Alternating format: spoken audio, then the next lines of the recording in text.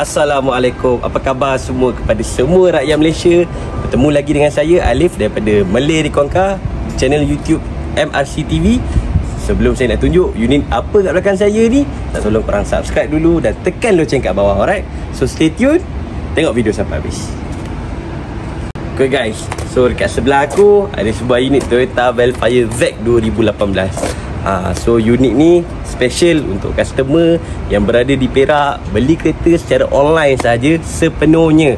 Alhamdulillah kereta dah siap. So kita tinggal nak buat coating saja. So hari ni aku nak sharing sikit uh, tentang unit Velfire Z Spec ni apa yang best, apa yang tak best dia. Jom ikut aku. Ha. Alright guys. So ini adalah Toyota Velfire Z Spec. Ha, macam korang semua tahu Korang semua dah survey kat luar Velfire ni terlampau banyak variant. So dekat belakang aku ni adalah Toyota Velfire Z spec. Ha, Di mana Z ni dia ada dua variant Sama ada Z 7 seater ataupun Z 8 seater. So macam mana kita nak tahu dia Z spec? First kali kita boleh tengok dia punya lampu. Lampu dia datang dengan dua projector lamp Okay And then dia tak ada cornering light. Ah, so cornering light hanya ada pada full spec ZG saja.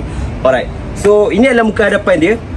Untuk 2018 dia dah wajib ada pre-crash, dah wajib ada lane assist, dah wajib ada auto cruise untuk semua variant. Walaupun expect, okey?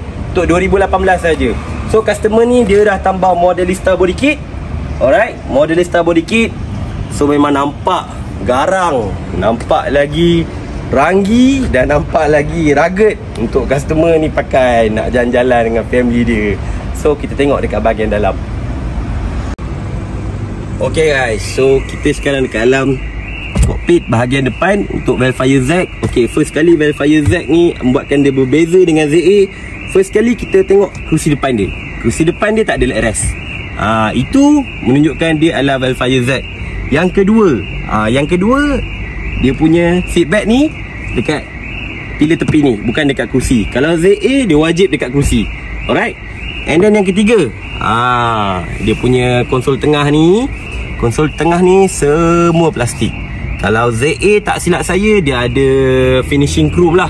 Ha, okay. So dari depan ha, Customer dia dah tambah Android player Dia dah tambah 4cam And then dia dah tambah ha, kita, Sorry dia, dia memang dah ada roof monitor dekat tengah ni. Okay? So untuk Z-Spec dia punya kerusi dia memang full fabric. Ha, So ada setengah customer Dia nak maintain saja full fabric dia. Dan ada setengah customer dia nak tambah leather. So bergantung pada customer kat luar sana Macam mana korang nak custom kereta korang. Kalau korang tak nak benda-benda Boleh consult dengan team LC Alright?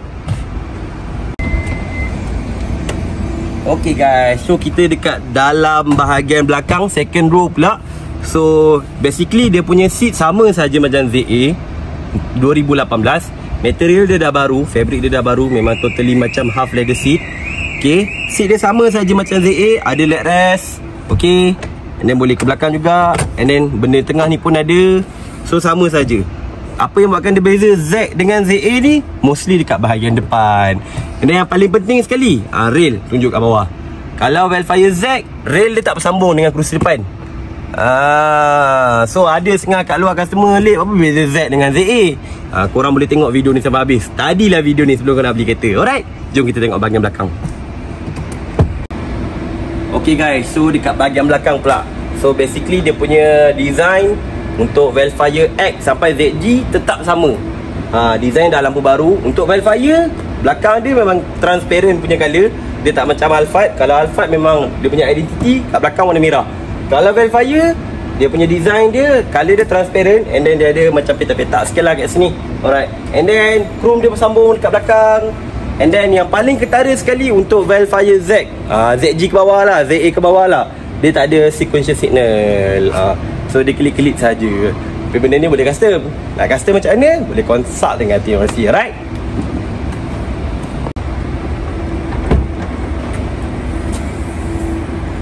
Okay guys So Ni untuk ruangan belakang. Macam korang boleh tengok Aku buka kereta Pintu belakang kereta ni Bonnet belakang ni Manual saja. Untuk pengetahuan korang Yang wajib datang dengan power boot Untuk model 2018 ZG saja. So kalau korang nak custom Nak tambah power boot pun tak ada masalah. Boleh saja. Cuma kereta ni Customer tak ada nak tambah power boot lah. Ha, Over budget. And then jom kita tengok dekat bahagian belakang. Boot space dia. Okay first kali kereta ni Dia datang dengan tayar spare Okay Untuk tayar spare Optional. Ada yang datang ada Ada yang datang dengan pump. So kalau kereta tu Contoh kereta ni Dia datang dengan tayar spare Dia hanya ada kits Untuk tukar tayar saja. Dia tak ada pump. Tapi kalau kereta korang tak ada tayar spare Korang beli kat luar Tak ada tayar spare Mesti ada pump untuk emergency Kalau kereta tayarnya bocor. Alright? So jom Duduk depan. Okay guys. Korang boleh tengok Ini adalah Velfire ZA Ataupun Z punya sport rim. Ha, Dia 18 inci juga. Cuma design dia Tak premium lah. Ha, Ada orang suka dengan design ni. Tapi Kalau korang nak cantik Bang Tukar kat sini guys. Ini adalah sport rim ZG 2018 Design macam ni eh. Ha, So bila korang tukar je sport rim Korang masuk je Molista Automatically kereta korang jadi full Daripada luar lah. Ha. So jom kita tengok dekat dalam Apa lagi customer tambah. Jom Okay guys. So Kita sekarang dekat dalam Bahagian driver side. So apa lagi yang customer ni tambah? Okay First thing first Customer ni tambah uh, 4cam uh, 4cam ni sangat bantulah Untuk customer-customer Yang first time nak bawa Nak gajah ni Sebab seperti seorang korang sedia maklum kereta ni besar. Ha, so kalau nak masuk mall ke apa ke uh, 4cam ni sangat membantu. Dan 4cam ni ada banyak jenis. So kalau ya boleh fokus kat sini so 4cam ni adalah 8 view punya 8 view punya ter, uh, 8 view punya jenis. Okay. So dia ada banyak view lah. Uh, Ada bahagian belakang Ada bahagian kiri kanan belakang And then bahagian atas. So banyak.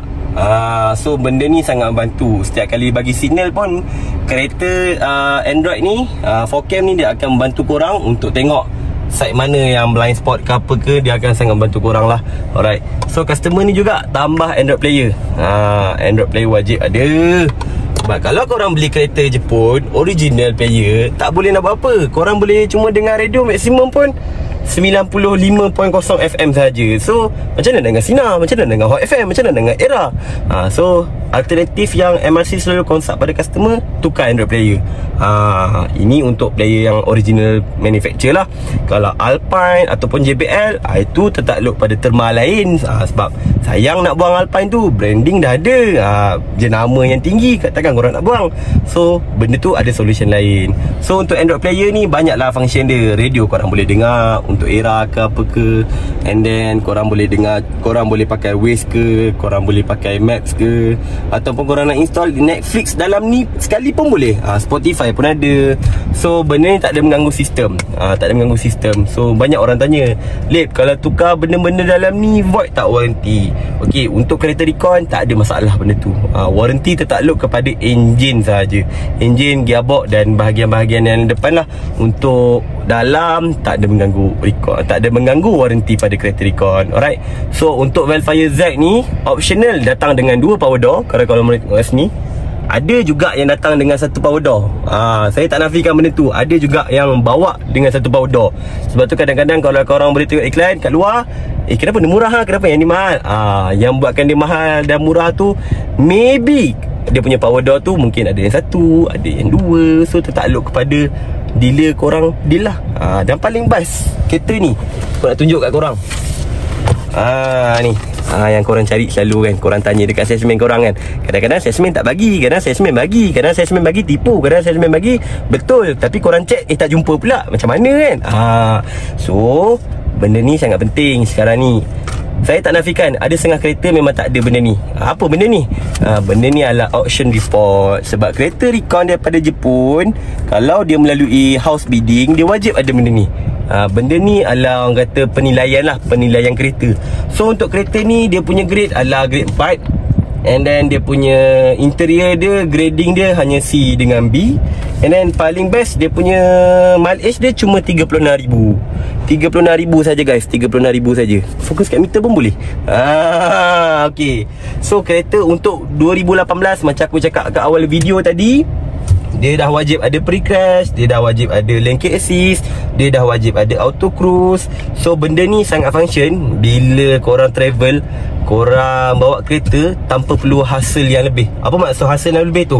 Maksudnya korang tak perlu nak fokus 100 120% bawa kereta. Yes, aku tak cakap bawa kereta ni tak boleh fokus. Bukan, maksud aku macam tu. Tapi dia memudahkan korang. Ha, Bawa kereta. Kadang-kadang, yelah kita orang Malaysia ni Suka main phone dalam kereta. Ah, Tu perangai yang tak boleh lari lah. Masuklah orang yang cakap ni kan. Tapi jangan bawa macam tu. Selalu, alright. So, jom kita keluar Okay guys, so korang dah tengok explanation aku dekat dalam video ni mengenai Toyota Velfire Z. So berapa harga untuk 21.12? Okay, kereta ni terjual dengan harga body saja 208,000 body price. On the road plus minus lebih kurang dalam 217,000 sebab rasanya tak ada NCD. So, tu plus minus eh. Uh, bergantung pada banyak customer juga benda ni on the road ni. Okay. And then Berapa bulanan kereta ni? Kereta ni boleh dapat bulanan Serendah 2,300 Full loan ah, Full loan ah, Itu aku cerita full loan Kalau korang ada budget down payment Ataupun korang ada Sedikit wang yang boleh korang spend Untuk kurangkan monthly korang InsyaAllah boleh dapat lagi rendah daripada tu. Okay So untuk maintenance kereta ni Tak tak tak susah pun. Uh, Minor service plus minor lebih kurang dalam Setakat tukar minyak hitam uh, dalam 400 ke 600 bergantung pada jenis minyak dan bergantung pada brand minyak apa yang korang pakai okey? So korang mesti dah tak sabar. Siapa owner kereta ni kan? Okey. So untuk owner kereta ni sambung dekat ujung video. Tunggu. Tengok video sampai habis alright? Assalamualaikum